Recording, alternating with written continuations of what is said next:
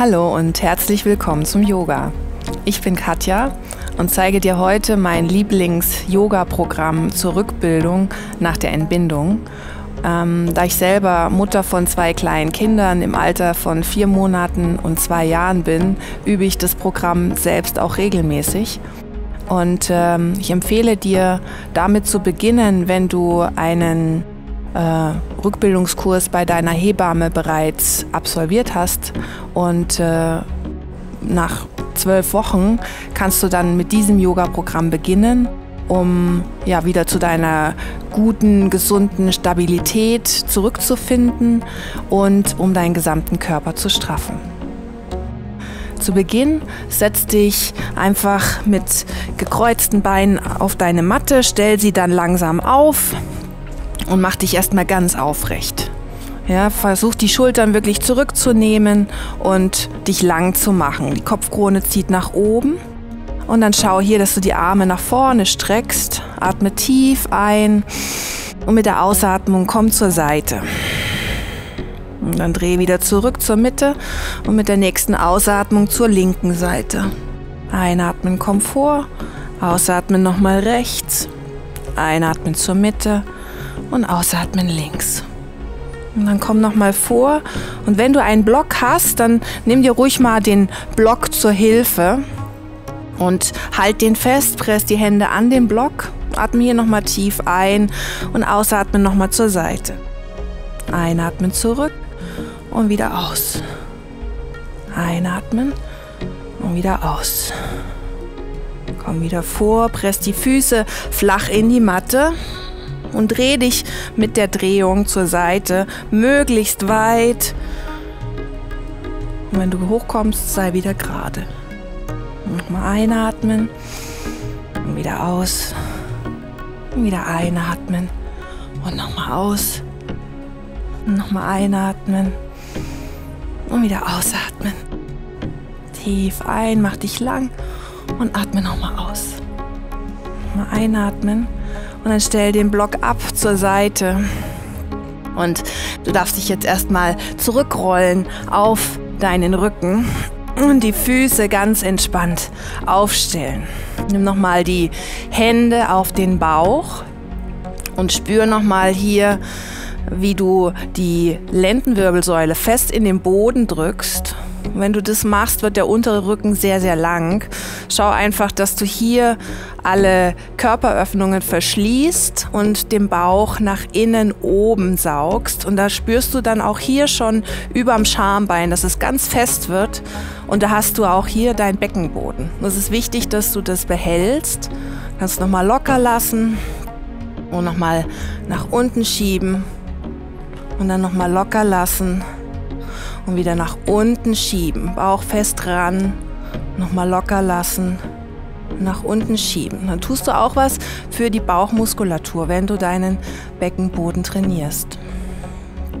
Und schau, dass du jetzt einfach noch ein bisschen äh, die Füße zum Gesäß rannimmst, die Schultern etwas zurückrollst und leicht den Po nach oben hebst so dass es aber das Gesäß locker bleibt und entspannt. Und dann mach einfach mal eine liegende Acht in der Luft mit deinem Steißbein. Du kannst hier nochmal dein Steißbein fühlen und das soll hier die liegende Acht malen in der Luft. Der Gesäß bleibt ganz locker, damit du wirklich hier mit dem Beckenboden arbeitest. Das ist gar nicht so leicht. Dann drehst du diese acht auch mal in die andere Richtung. Hm, atmest dabei tief und gleichmäßig weiter.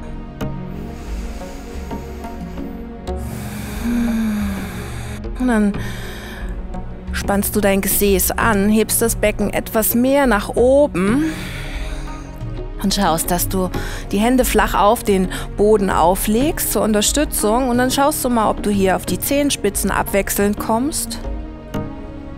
Und vielleicht sogar, wenn du schon regelmäßig geübt hast, die Füße langsam hebst.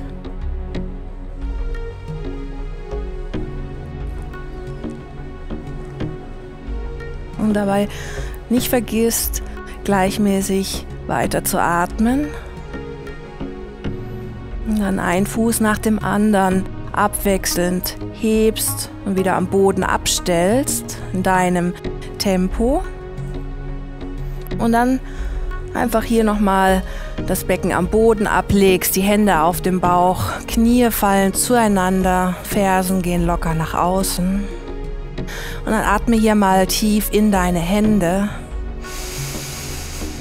sodass du wirklich spürst, die Bauchdecke hebt sich und mit der Ausatmung senkst du wieder die Bauchdecke ab. Atme nochmal tief hier ein und wieder aus. Dann kommst du beim nächsten Mal, nimmst du deinen Block zwischen die Oberschenkel so und presst den Block fest mit den Oberschenkeln. Schaust, dass die Füße hüftweit stehen und schiebst jetzt nochmal deine Lendenwirbelsäule nach unten zum Boden, spannst alle Körperöffnungen oder schließt alle Körperöffnungen, rollst die Schultern zurück und kommst dann mit der Einatmung nach oben und presst den Block und ausatmen kannst du bis fast zum Boden wieder absenken. Dann press nochmal den Block, komm mit der Einatmung wieder hoch und ausatmen, senk wieder ab. Einatmen nochmal hoch, press den Block und wieder ausatmen. Nochmal einatmen, komm nach oben und wieder ausatmen. Nochmal einatmen, leicht absenken. Und dann komm mit der nächsten Einatmen hoch und bleib hier. Versuch wirklich den Block festzuhalten, mit den Oberschenkeln zusammenzupressen, zusammenzudrücken und den Beckenboden zu aktivieren, indem du wieder alle Körperöffnungen schließt. Bauchnabel geht nach innen und halt für einen Moment hier, atme tief und gleichmäßig weiter. Hm, versuch hier den Brustkorb maximal auszufüllen. Wieder auspresst den Block. Letztes Mal tief einatmen und ausatmen. Senk dich ab zum Boden. Und dann legst du den Block einfach locker zur Seite. Nochmal die Knie zueinander, die Hände auf den Bauch. Und atme nochmal tief ein und wieder aus. Nochmal tief ein in den Bauch, in die Hände. Und wieder aus. Okay, und dann machst du dich langsam lang und kommst auf die Seite, auf die linke Seite Schaust, dass dein linker Ellbogen unter der linken Schulter steht, die Handfläche zeigt nach oben und du winkelst die Beine an und schaust aber, dass deine äh, Körpervorderseite in einer Linie ist. Und dann schaust du, dass du mit der Einatmung hier nach oben kommst, dich lang streckst und vielleicht die Hand in der Hüfte lässt. Und guck mal, wie das hier ist. Und sonst kannst du natürlich gerne auch die Arme nach oben strecken, dich hier lang machen. Dann schaust du mit der Ausatmung Becken senken und einatmen, komm wieder hoch. Ausatmen, senken, einatmen, wieder hoch. Und wieder aus und wieder hoch. Mach das ein paar Mal für dich in deinem Tempo und versuch maximal die rechte Hüfte nach oben zu bringen, sodass du wirklich hier auf der linken Rumpfseite die Spannung spürst, dass du deine Muskulatur spürst. Und dann streck dich das letzte Mal nach oben und schau, dass du vielleicht die Hand zum Becken nimmst und presst die Hand gegen dein Becken, dein Becken gegen die Hand. Und schau dann, dass du dich hier noch ein bisschen mehr nach oben hebst, vielleicht den Blick zum rechten Daumen bringst und dann langsam absenkst und dich auf den Bauch ablegst, zum Boden ablegst, kurz entspannst und hier das linke Bein anwinkelst und mit der linken Hand deinen linken Fußrücken erwischst. Der rechte Arm ist aufgestellt, der Ellbogen, rechte Ellbogen unter der rechten Schulter.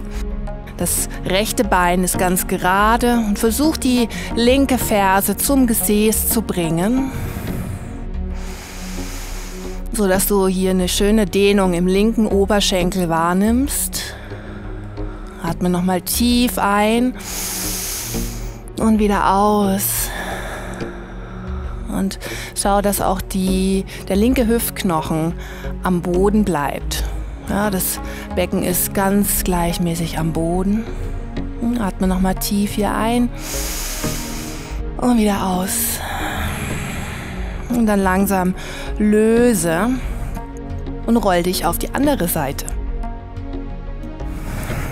Auf die rechte Seite bringst den Oberkörper wieder in eine Linie.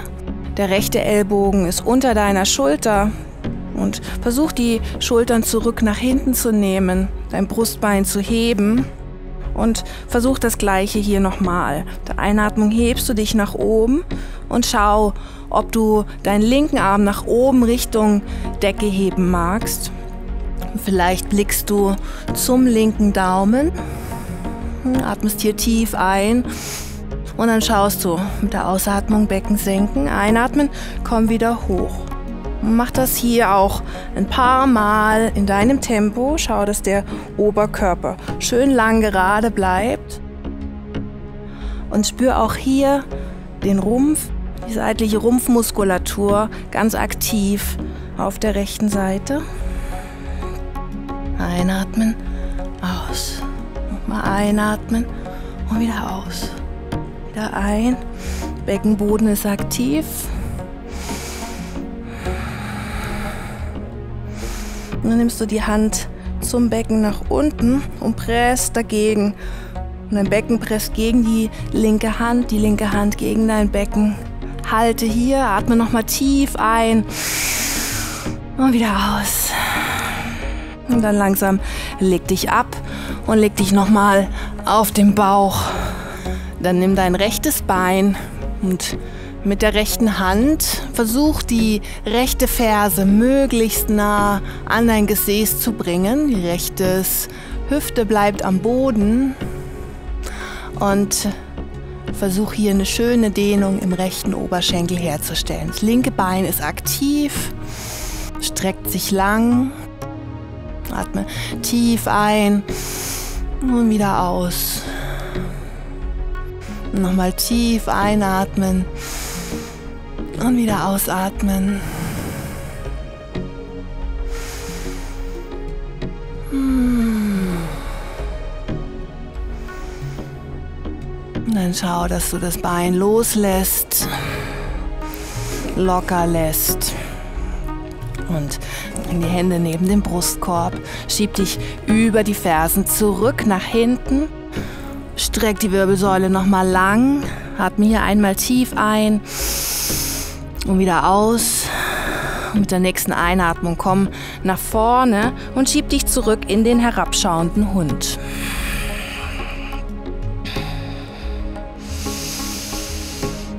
Mm, mach die Bewegung, die du magst, die dir jetzt gut tut.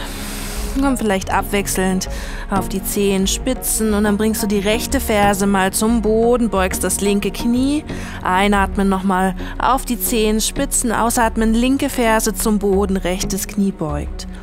Einatmen nochmal hoch, ausatmen nochmal rechte Ferse zum Boden, einatmen, heben, ausatmen, linke Ferse zum Boden. Einatmen nochmal heben. Und dann bleib hier auf den Zehenspitzen, drück die Zeigefingerballen fest in die Matte und schau, dass du hier die Knie etwas rannimmst und mach nochmal eine liegende Acht mit dem Steißbein in der Luft. Und dann versuch das auch mal in die andere Richtung. Eine ganz kleine Bewegung Gut, und dann kommst du auf die Knie und schaust, atme hier ein.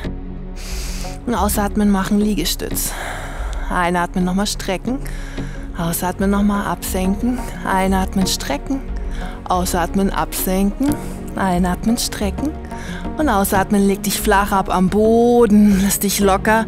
Die Füße sind hüftweit auseinander, Fußrücken drücken in die Matte oder in den Boden. Die Oberschenkel sind stark, Knie weg von der Matte. Und mit der Einatmung hebt den Oberkörper. Und ausatmen, Stirn senken. Einatmen, nochmal Oberkörper heben, dein Schambein presst nach unten. Ausatmen, Stirn senken. Einatmen, nochmal Oberkörper heben. Und ausatmen, senken. Hm, einatmen, komm nochmal hoch. Und dann nochmal aus. Und dann schau, dass du die Arme zurücknimmst und greif die Finger hinterm Rücken ineinander. Schau, dass du die Beine jetzt dazu hebst und dann nimm die Füße aneinander, Fußinnenseiten berühren sich und presst die Fußinnenseiten aneinander, spann die Oberschenkel an und presst die Beine wieder zusammen. Atme tief hier ein und wieder aus. Nochmal tief einatmen und wieder aus. Und letztes Mal atme hier tief ein. Nur mit der Ausatmung löst. Leg die Stirn kurz auf deine Hände auf. Mach Fäuste mit den Händen. Spür deinen Herzschlag. Und lass hier einen Moment ganz locker.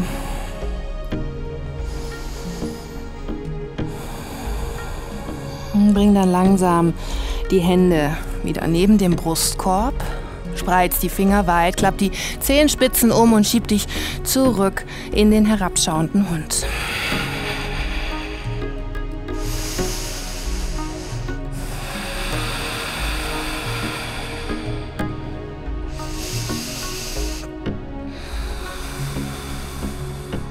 Als nächstes komm nochmal auf die Knie.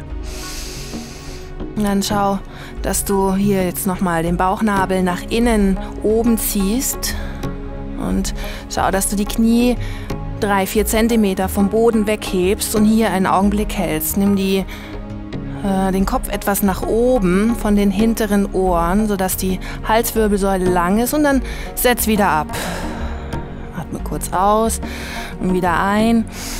Und dann schau, dass du hier nochmal alle es anspannst, den Beckenboden aktivierst und den Bauch nach innen nimmst und dann noch einmal ein paar Zentimeter nur die Knie weg vom Boden nimmst und dabei dir zulächelst. Nochmal tief einatmest und das nächste Mal nochmal absetzt.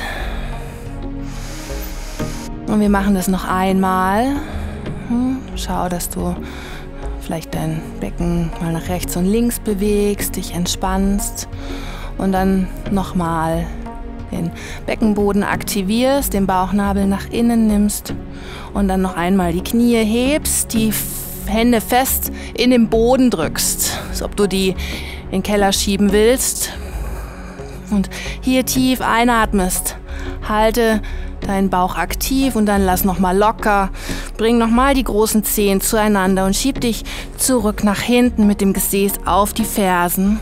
Kannst zwei Fäuste machen mit den Händen und die Stirn auflegen.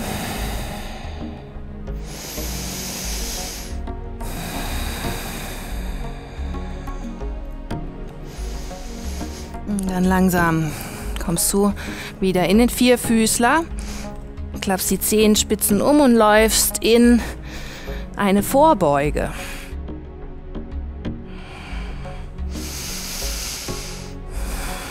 Der Kopf ist ganz locker, ganz entspannt.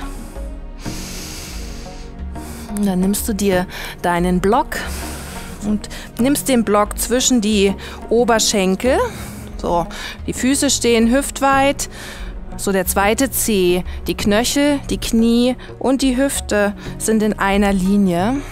Und nimm den Block zwischen die Oberschenkel, halt ihn fest und dann press den Block wieder mit den Beinen, setz dich auf einen imaginären Stuhl zurück nach hinten und dann streckst du die Arme schulterhoch nach vorne.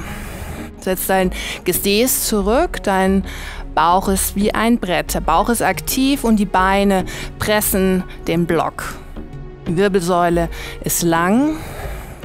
Du nimmst die Schultern etwas zurück nach hinten, dass du gerade bist und presst den Block. Atme nochmal tief ein und wieder aus. Und noch einmal tief einatmen und wieder aus. Einatmen, komm nach oben und nimm die Hände hinterm Rücken ineinander.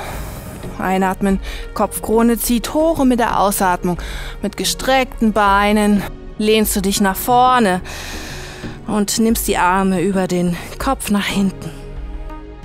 Entspann dich hier, lass den Kopf mal locker nach rechts und links fallen. Nacken ist entspannt. Und die Arme wollen noch mehr nach unten Richtung Boden. Atme tief ein. Spür die Dehnung im Schultergürtel. Hm, nochmal tief einatmen und wieder aus. Und noch einmal tief ein. Mit der Ausatmung lass die Arme locker nach unten fallen. Beug wieder deine Knie und komm dann langsam mit dem Oberkörper nach oben. Schieb nochmal dein Gesäß zurück nach hinten und schieb die Arme nach vorne. Versuch wieder die gleiche Position zu finden und dann guck gern zu deinen Fußspitzen und schau mal, ob du mit der Einatmung auf die Zehenspitzen kommen kannst und ob du das hier halten kannst. Setz dich noch mehr zurück, halte und dann komm noch mal runter. Und komm noch mal nach oben. Press den Block weiterhin. Und dann lass los. Und ein letztes Mal. Press den Block, komm auf die Zehenspitzen und dann langsam Hände zum Boden, Fersen zum Boden, Block zur Seite. Hm, schüttel die Beine mal aus. Lauf dann wieder in eine Art herabschauenden Hund. Gut, und dann schau, dass du mit der Einatmung das rechte Bein nach hinten oben streckst und mit der Ausatmung einen großen Schritt nach vorne zwischen deine Hände machst. Nimm dir einen Block an die Innenseite jetzt von deinem rechten Fuß.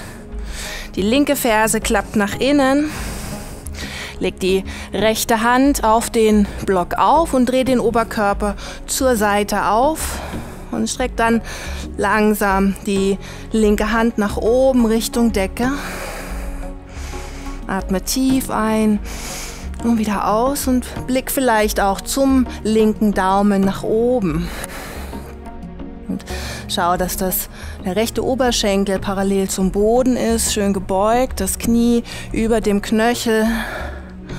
Und drück die Außenkante vom linken Fuß fest in den Boden. Atme hier nochmal tief ein und wieder aus. Und nochmal tief ein und wieder aus. Und dann letztes Mal einatmen. Mach dich ganz lang. Ausatmen, Blick zum Boden, Hand hinterher. Und dann schau, dass du in den dreibeinigen Hund nochmal zurückkommst, dich nochmal ganz lang streckst und ausatmen, dann Fuß abstellen. Dann laufst du in die Mitte kommst nochmal in eine Vorbeuge und kommst auf die andere Seite. Nimm jetzt das linke Bein langsam gestreckt nach hinten, oben, mach dich lang. Hm, ausatmen, großer Schritt nach vorne. Zwischen deine Hände, rechte Ferse kommt zum Boden. Der Block kommt an die Innenseite vom linken Fuß. Die Hand liegt flach auf dem Block auf. Und dann mit der Einatmung kommst du nach oben. Blick Richtung rechter Daumen, wenn das für deinen Nacken okay ist. Und drück die Außenkante vom rechten Fuß fest in die Matte. Hm, atme nochmal hier tief ein, streck dich und wieder aus. Und versuch den Oberkörper noch mehr zur rechten Seite aufzudrehen. Das linke Knie ist über deinem linken Knöchel. Atme noch einmal hier tief ein und wieder aus. Spann auch den rechten Oberschenkel gut durch. Und dann langsam kommt die Hand zum Boden. Block zur Seite. Und dann mit dem linken Bein nochmal einen großen Schritt zurück nach hinten oben. In den dreibeinigen Hund. Fuß zum Boden. Und dann läufst du langsam zur Mitte in eine faule Vorbeuge.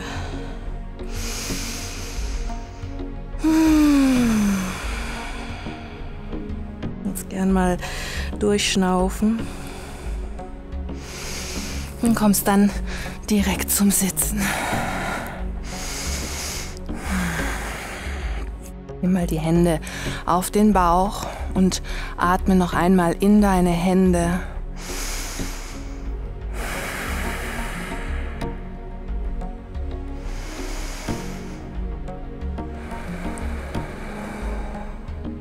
Okay, und dann schau, dass du hier den rechtes Fuß nach rechtes Bein nach vorne streckst und das linke Bein zur Seite wie in einer Grätsche. Und dann schau mal, einatmen, komm mit den Armen nach oben, spann den Beckenboden an, sei aktiv, ausatmen, Twist nach rechts. Einatmen, nochmal zurück zur Mitte und ausatmen, Twist nach links. Einatmen, komm nochmal nach oben ausatmen nochmal nach rechts. Einatmen nochmal zur Mitte und ausatmen nach links. Oberschenkel drücken nach unten in den Boden. Einatmen, komm nochmal hoch. Und mit der Ausatmung bleib jetzt auf der rechten Seite. Und nimm die rechte Hand flach in deine Matte. Dreh die Füße nach rechts. Und mit der Einatmung komm nach oben. Und ausatmen, senk dich wieder ab. Einatmen nochmal heben. Ausatmen zur anderen Seite. Einatmen, komm hoch, streck dich. Atme wieder aus. Wir gehen gleich weiter. Einatmen, nochmal heben und wieder aus. Einatmen, heb dich nochmal hoch und wieder aus. Letztes Mal auf der rechten Seite. Und wieder ausatmen. Und noch einmal einatmen, heb dich ganz hoch, streck dich. Ausatmen. Okay, und dann nimm das Bein wieder zurück.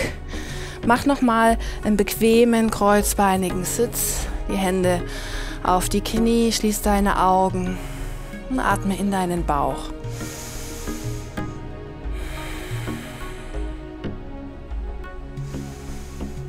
Und dann nimm einfach hier nochmal die Hände hinter deinen Rücken, schieb die Schultern zurück nach hinten, setz die Hände hinten auf und mit der Einatmung heb dein Brustbein nach oben, Blick nach oben, atme tief und wieder aus.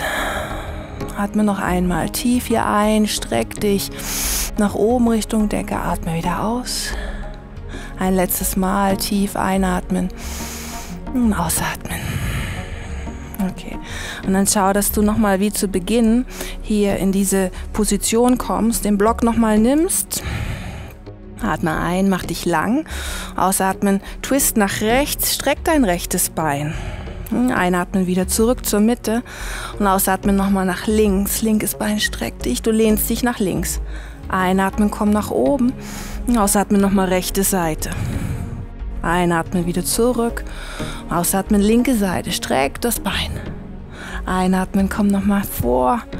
Ausatmen rechts. Einatmen zur Mitte. Ausatmen linke Seite. Einatmen zur Mitte.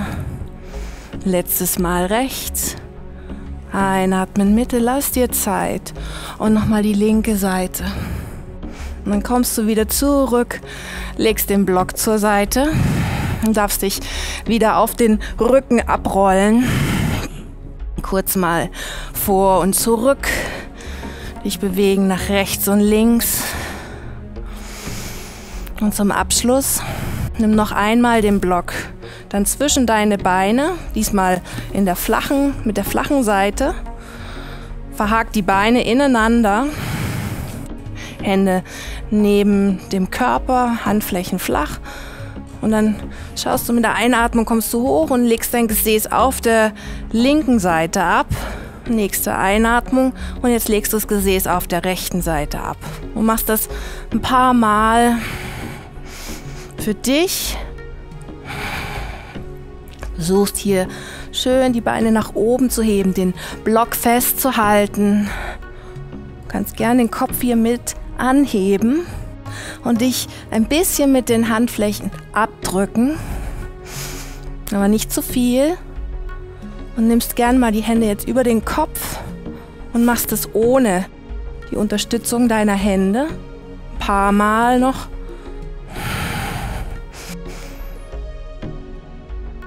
Kurze Pause. Leg den Block auf deinen Bauch. Atme tief ein und wieder aus. Noch einmal tief einatmen und wieder ausatmen. Und der nächsten Einatmung streck deine Beine nochmal hoch. Jetzt verkreuz die Beine andersrum. Noch, nimm nochmal den Block dazwischen. Streck gleich die Arme nach hinten und dann mach das nochmal. Ein paar Mal für dich. Heb dein Becken weg vom Boden mit der Kraft deines Bauches. Und hier hast du auch nochmal wunderbar den Beckenboden mit dabei. Und du tust was für deine Bauchmuskulatur.